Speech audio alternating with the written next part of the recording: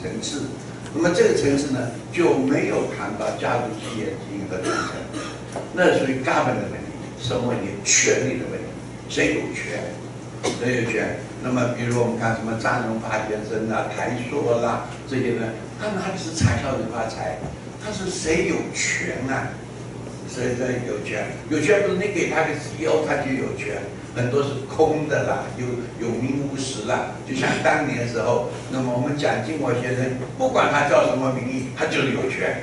比如说台塑里面，呃，我我认为长庚管理权也是我呃万景恩，呃，我从台大退休就是为了办长庚管理学院。我们知道有事情不是找什么总经理、协理，呃，这些人找谁？找王瑞瑜。完了，只是管理中心副主任哎，可是他每天可以跟着董事长见面一块吃饭啊，而且他讲的话算数哎，你什么这个副总经理、总经理讲的，人家说是不是老板？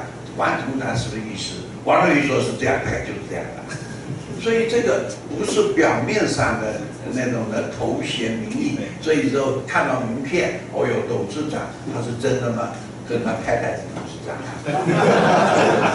这个都普遍的情况了，呃，情况，这个呃，所以呃，现在尤其是要独立董事，独立董事凭什么做独立董事？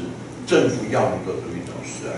我现在做独立董事很麻烦啊，所以我们都买了保险，做了业务险。呃，我在一个美国上。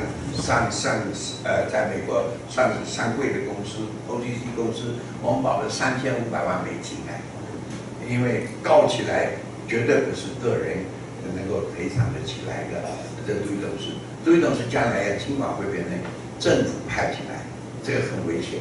大书记，大家大家一起会体会，会体会将来，因为现在是由公司老板安排，对不对？那那老板安排，你给老板一鼻孔出气啊？你能够独立吗？你能够这个自呃会考虑社会利益吗？考虑弱势吗？呃，考虑这些吗？那以后跟政府谈，政府就是我们回到单书记的时代啊，这个比较触及到政治的问题了，我就这个就呃打住。